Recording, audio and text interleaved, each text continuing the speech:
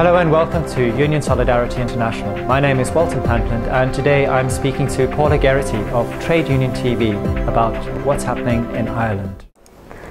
We've heard a lot about Ireland and austerity, but we don't really know what the picture is. What's, what's happening? What's it like on the ground? The Troika and IMF came into Ireland in late 2010, and since then we've had a number of budgets, and they've all been about austerity. They've all been about attacking workers' conditions, dismantling things as we know, such as health services, education services. And you know, the, the, attack on workers' rights in particular has been quite vicious, and we're really seeing the, the, the cost of that uh, um, at the moment. We're facing our next budget on December the 5th, and just before then, on the 24th, this Saturday, the 24th of November, we're having a demonstration, a big demonstration organised by the Dublin Council of Trade Unions. And the executive of the Irish Congress of Trade Unions have unanimously come out and backed this. Um, this march is being organised by a host of people. A group called the Spectacle of Defiance and Hope, a really fantastic, energetic, bright, wonderful, colourful group um, of community activists um, from all over the all over the country.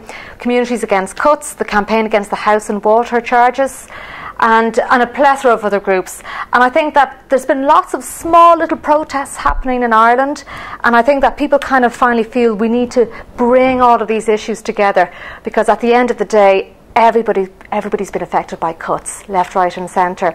And I think the feeling's coming. It's really coming around to the feeling now that people have to unite together, and that the old-fashioned trade union values of solidarity, an injury to one is an injury to all, is really kind of regaining that kind of currency that had been lost for a while I think um, in Ireland, mainly due to the Celtic Tiger, you know, the false artificial bubble um, that existed there. Um, and and I suppose like with this budget that's coming in, like a lot of a lot of people, there, there, there's a narrative in Ireland that you know everything is the fault of the Troika and the IMF. When to be honest with you, really, you know the budgets that came before that, which were organised by the Fianna Fáil government, um, Fianna Fáil Green government before that, you know, they were pretty vicious and nasty too. And there isn't really that much difference between those type of budgets and the budgets that are there now that Fianna Fáil, sorry, that Fine Gael and the Labour Party are implementing. There's obviously a similarity and links between what's happening in Ireland and what's happening in Southern Europe, in Portugal, Spain, um, Italy, and particularly in Greece. Um, do you do you keep abreast of what's happening there? Do you feel a sense of, of, of uh, solidarity or common purpose with, with trade unions and activists in those countries, or do you feel isolated in the Atlantic western fringe of of Europe? Well, I think there is a difference in, obviously, there's a difference between the response to austerity in Ireland and what's happened um, in the rest of Europe. Um, we see massive demonstrations in Spain and Greece, um, especially on November 14th, absolutely massive. And nothing really happened in Ireland, maybe a few little solidarity protests. Um, and I think there's two reasons for that. One is um, that a lot of unions were putting everything into this protest on the 24th of November, which is uh, 10 days after the European general strikes. Um, but also that there hasn't been, you know, that much um, national response to austerity. There's been lots and lots of different smaller protests, and to be honest with you, some of them are quite big. When you think about, for example, the Waterford protest, the Waterford Health protest, uh, Waterford City is has a population of about 45,000 people. Just two weekends ago, a third of the population of Waterford came out to protest to save their regional hospital, and that's 15,000 people. It's a, it's Waterford. Waterford's not that big, and it's a hugely significant event. And the reason why so many people came out is that it's like death by a thousand cuts people just thought, we've taken this, we've taken this, we've taken enough, now that's it, you're taking too much.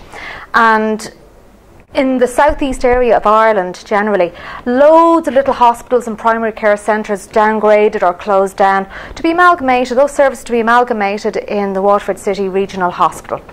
And uh, so people made all those sacrifices, and now this has been taken away or threatened to be taken away from people of the southeast. And so people just said, enough is enough. If we don't take a stand now, we're going to lose everything. And it was a really, really remarkable protest. I was very lucky to have been there and just to, to see it. Everybody was there. People getting out of the 4x4s, the, the pensioners, people in wheelchairs, people came out of nursing homes.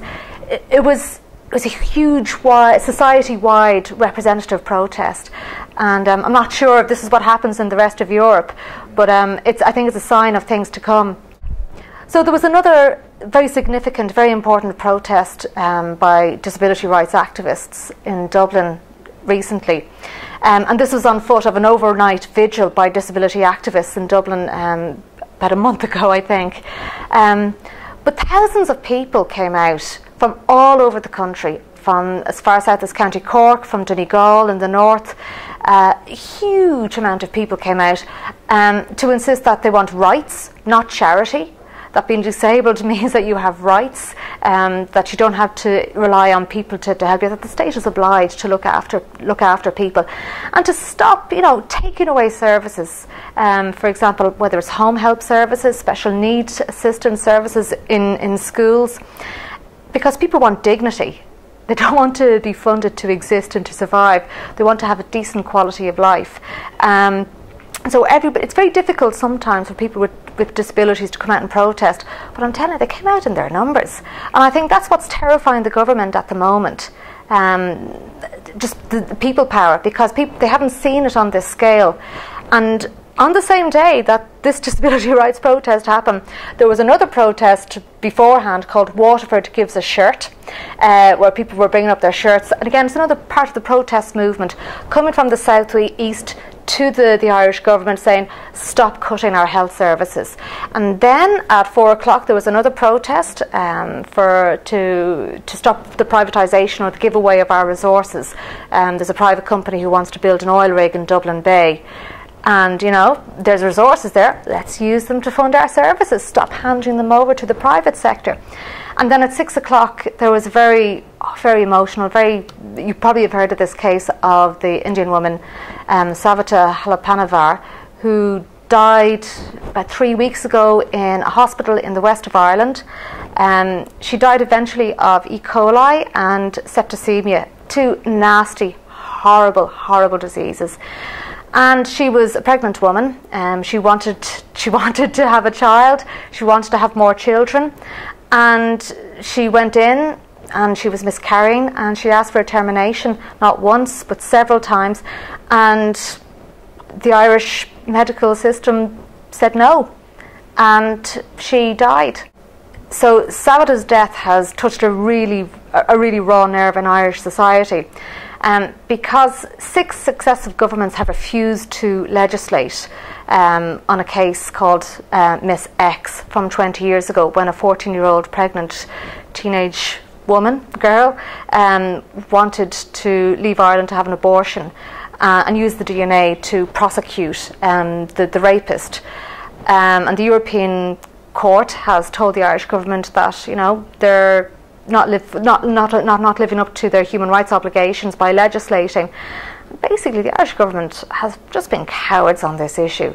And you know, we, we, we thought, you know, after all the institutional abuse, after all of these issues, we thought that, that the grip of the Catholic Church had, had effectively, you know, withered somewhat, but it's still there. And women's lives are at stake.